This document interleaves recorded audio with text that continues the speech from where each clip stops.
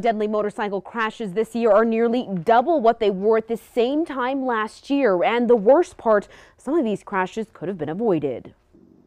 Many of us have driven right past this. A mangled motorcycle in the middle of the street, a motorcyclist injured or worse, killed. Switching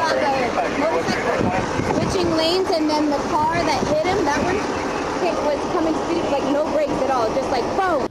Paul Badia died in this Santa Fe crash earlier this month. Police say the driver that hit him was drunk. Careless driving to texting while driving, the DUI problem in this state. Raymond Gallegos didn't know the victim but understands what his loved ones are going through. I've lost friends, I've lost family members to the road. And I found out serious motorcycle crashes are on the rise. Numbers from the New Mexico Motorcycle Safety Foundation show there have been 81 crashes so far this year.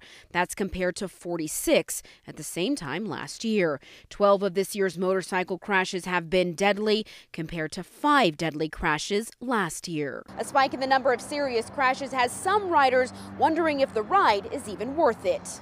A lot of people say because of all the crashes you've reported, sometimes I get a feeling that today's not a good day to ride. These bikers tell me they know the risk every time they get on. Somebody's going to be suffering. Somebody is not coming home tonight. And that's hard because that could be any one of us at any minute. They're extra safe on the roads now, and they want you to do the same to avoid something like this.